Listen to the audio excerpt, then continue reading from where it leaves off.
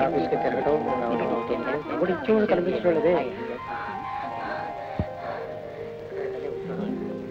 excuse me please interview start అయిపోయిందండి just ఇప్పుడే start అయ్యాను అనుకుంటా.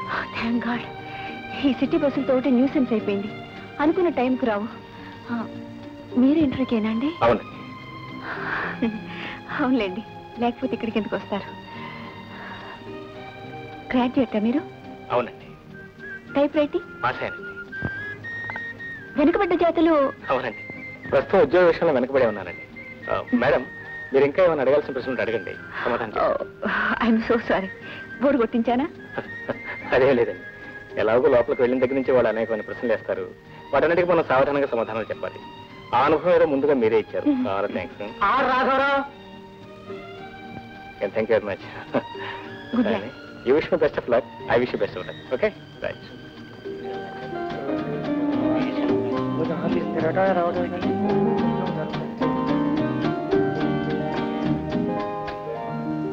శ్రీరామ్?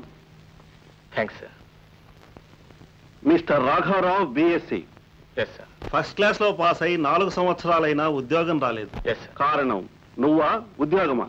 మీరు. వాట్ అవును సార్ నేను బీఎస్సీ ఫస్ట్ క్లాస్లో పాస్ అయినట్టు యూనివర్సిటీ సర్టిఫికేట్ ఇచ్చింది.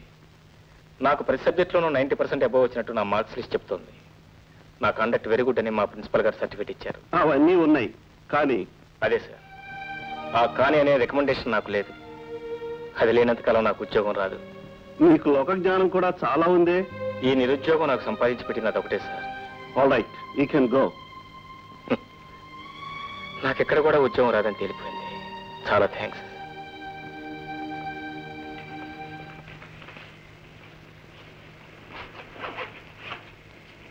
రాఘవ? ఇంకా ఒకటో తారీఖు కాలేదు అత్తయ్య గారు నువ్వు కట్టివ్వడానికి ఎందుకయ్యా అలా మాట్లాడతాం నాలుగు రోజులు ఆలస్యమైన నిన్ను నేను ఎప్పుడైనా ఇబ్బంది పెట్టానా? లేదనుకోండి. పైగా ఐదో పదే నేనే ఇస్తున్నాను. అవునా? అత్తయ్య గారు ఉద్యోగం రావడం ఆలస్యం మీరు ఇచ్చిన డబ్బు వడ్డీతో సహా మీకు ఇచ్చారు ఏ ఉద్యోగమో ఏమిటో? ఎప్పుడు దొరుకుతాయో? అసలు దొరుకుతాయో లేదు? అంతా అయోమయం. పైగా నీకు ఉద్యోగం దొరకాలని వెయ్యి కళ్ళతో ఎదురు చూస్తున్నాను. చూడు రాఘవ. ఇదిగో. ఈ రూపాయి తీసుకెళ్ళి మల్లెపూలు తీసుకురా మల్లెపూల? ఈ వేళ అప్పుడు చీకట్లో పెట్టుకున్న కనపడవు అత్తయ్య గారు. రంగం. అబ్బబ్బా ఇప్పుడే వచ్చిందండి. వస్తాను బాబు. అత్తయ్య గారు. ఉండని. మల్లెపూలు రేపు తీసుకొద్దు కానీ మల్లెపూలు? మళ్ళీ రేపు? అబ్బాబాబా ఒక్క నిమిషం బయట వాళ్ళు చూసుకోలేవారు. మేకల ఆకులు నవ్వుతూ కూర్చోక అలా కేకలేస్తారెందుకు దడుచుకున్నాం కదండి. అది కాదే రంగం. ఏమిటి? పండు ఒక్క కుంకం పువ్వు వేసి ఒక కిళ్ళి బనాయించానా? అబ్బా నా గుండె. రెపరెప రెపరెప రెపరెప రెప రెపరెపలు అంటే రెపరెపలు. ఇంకో కిల్లి వేసి మర్యాద పడుకో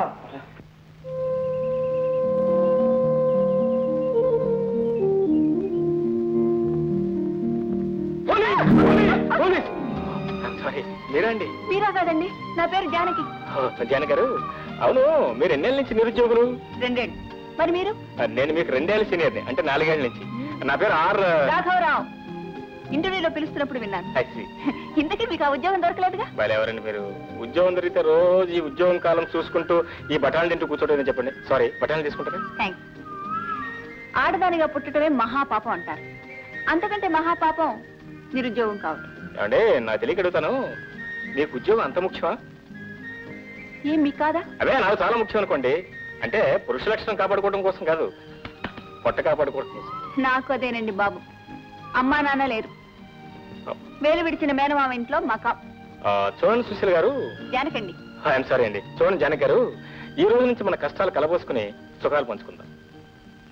ఏమిటండి మీరు అనేది అదే ఈ విషయం కాదండి మన ఉద్యోగ విషయం. చూడండి జనక్ గారు నిరుద్యోగులకి పేపర్ కొనుక్కోవడం కూడా ఖర్చే. మన ఇద్దరికి రెండు పేపర్లు ఎందుకు చెప్పండి? ఒక పేపర్ జాయింట్గా కొనుక్కుందాం. ఓకే. ఆ, ఓకే అంటే కుదరదండి ఫర్ ఎగ్జాంపుల్ నాకు ముందు ఉద్యోగం వచ్చిందనుకోండి నా జీతంలో సగం మీకు ఇవ్వాలి.